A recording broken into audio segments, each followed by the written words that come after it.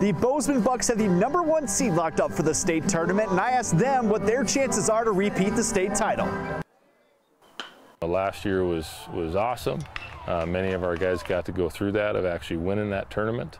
Um, and some of our guys were on our team the year before when we went two and out, so we've seen both sides of it, and you got to get hot at the right time. Bozeman has been hot all year, finishing with a 21 and 3 conference record. However, none of that matters now. We don't talk a lot about results. We didn't talk a lot about a conference championship result. We just talk about what it takes to, to be successful every day and on every pitch. The Bucks have been led offensively by Sage McMinn, who had a batting average of 500 with 13 homers, and on the mound, he had an impressive 2.91 ERA. We're used to winning, and kind of sounds cocky, but I mean you gotta win to win it. So I think we'll be okay.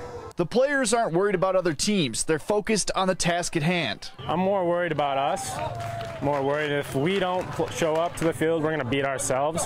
So as long as we show up to the park every day, I think we have a decent chance of beating anyone that we play. A lot of the team's success is because of Keller Murfitt, who came back to play with the Bucks after his college season was canceled and he met the age limit to return. Murfitt batted over 400 in the state tournament last year he's our leader for sure and our captain, and uh, I look up to him as a player for sure, even though I'm bigger than him. I mean, I try to do my best on and off the field for them to look up to, and just a great group of kids, guys, all of them like really good friends, and these friendships will last forever. The Bucks have a bye in the first round of the state tournament, and on Thursday night at 7 p.m. we'll be taking on the winner of the game between the Billings Royals and the Billings Scarlets. In Bozeman, John Miller, MTN Sports.